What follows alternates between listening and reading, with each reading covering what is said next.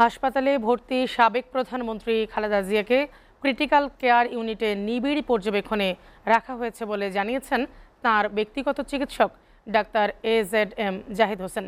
সকালে তিনি বলেন, বিএনপি চেয়ারপারসনের শরীর ভালো যাচ্ছিল না বলে গভীর রাতে হাসপাতালে ভর্তি করা হয়েছে। সিসিউতে নিবিড় পর্যবেক্ষণে তার চিকিৎসা চলছে। বিশেষজ্ঞ চিকিৎসকদের সমন্বয়ে গঠিত মেডিকেল বোর্ড তার চিকিৎসা নিয়োজিত রয়েছেন। হঠাৎ গুরুতর অসুস্থ হয়ে পড়লে খালেদা জিয়াকে শনিবার দিবাগত রাত তিনটার দিকে গুলশানের বাসা থেকে হাসপাতালে নেওয়া হয়। সেই খবরে রাত চারটার দিকে শতাধিক নেতাকর্মী বসুন্ধরায় এভার কেয়ার হাসপাতালের বাইরে ভিড় করেন। ডাক্তার জাহিদ বলেন, রাতে হাসপাতালে নেওয়ার কিছু পর কিছু পরীক্ষা করা হয়। মেডিকেল বোর্ড ফলাফল দেখে ব্যবস্থাপত্র দেয়, উনআশি বছর বয়সী খালেদা জিয়া আর্থ্রাইটিস, হৃদরোগ, ফুসফুস, লিভার কিডনি, ডায়াবেটিস সহ বিভিন্ন জটিলতায় ভুগছেন। এর আগে গত বুধবার খালেদা জিয়া অসুস্থ বোধ করলে তার মেডিকেল বোর্ডের কয়েকজন বিশেষজ্ঞ চিকিৎসক বাসায় গিয়ে কয়েক ঘণ্টা পরীক্ষা নিরীক্ষা করেন। অবস্থার কিছুটা উন্নতি হলে তাকে বাসায় রেখেই চিকিৎসার ব্যবস্থা নেওয়া- হয়।